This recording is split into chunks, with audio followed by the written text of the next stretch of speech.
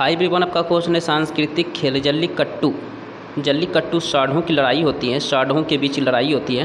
ये किस राज्य से संबंधित है? ऑप्शन नंबर ए है Andhra Pradesh, option number B है तमिलनाडु, ऑप्शन नंबर सी है केरल, ऑप्शन नंबर डी है कर्नाटक। तो ये तो ये तमिलनाडु राज्य से संबंधित है, ठीक है? Okay, option number B is correct answer so thank you